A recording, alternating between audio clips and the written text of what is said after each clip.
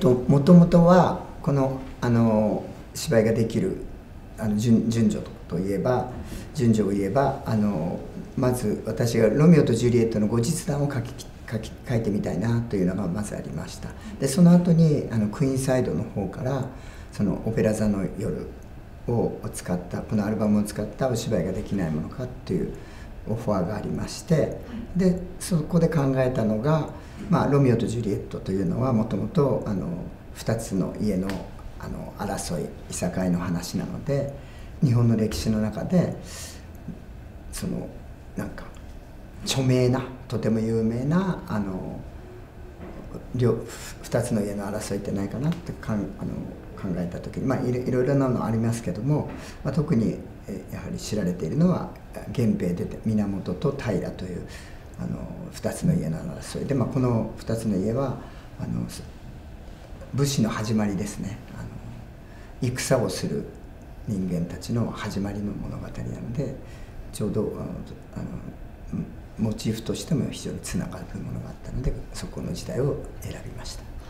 えっと、私は、まあ、作品によってちょっと作り方違いますけども台本だけ先にパッと作る時もあるけれどもこれに関してはそのクイーンのアルバムを使ってお芝居ができるかどうかっていうのは本当に自分でも分からなかったので何度もあのワークショップを繰り返しました役者さんたちと。それでこの曲からどういうイメージが引き出せるかとかそういう物語とかもあの一つずつあのイメージをあの引き出してそのそれを台本を書くときにあのあの作っていきました。以前から「ロミオとジュリエット」をいつかやってみたいという気持ちはありました。でそれはやはり、えー、世界的に見ても何よりも誰に誰にでも知られている恋物語ですね。で、まあ、ただ同時に、えー、ロミオとジュリエットというのはその物語の最後が2人の若い人の美しい死によって美しい人が死んだことによってじゃあ仲良くしましょう戦争は終わりましょうやめましょういさか戦いはやめましょうっていうところで終わるんですが、まあ、その時はそうだかもしれないけど本当にじゃあその翌日1週間後1ヶ月後本当にその争いは終わったままだろうかあののがあったので「ロミオとジュリエット」の後日談っていうのはずっと前からいつか書きたいなっていうのがあったんですね。あのストレートプレーに非常にフィジカルだしあの動くあの芝居なんでどういうふうに反応するかなっていうのはそれは、まあ、逆にチャレンジングの意味で楽しみなんですけど。でただ台湾の方はあのワングリーンボトルが非常によくあの楽しんでもらいたいのであの台湾のお客さんはきっと待ってくれているなって勝手に決めてます。であのお客さんのあのなんというかお客さんの質なんていうとえ偉そうですけどとてもいいあの客層だったなというのは今でも覚えてます。それは楽しみにしてます。あと台湾はとても楽しみですよあの台湾台湾の方は非常に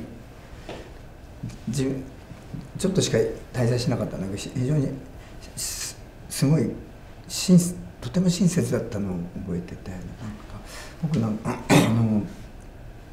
休みの日にあのどっかちょっと名前はお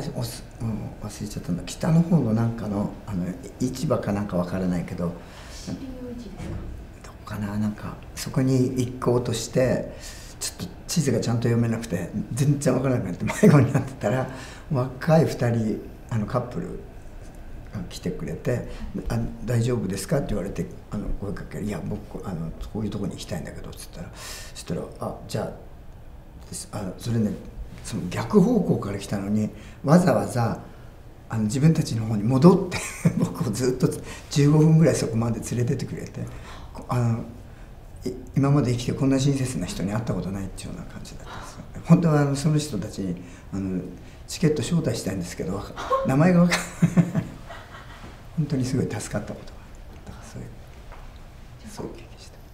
今回は台湾にあの改めてまた行けますので、はい、あの一番楽しみたいこととかありますでしょうか？あやっぱりなんか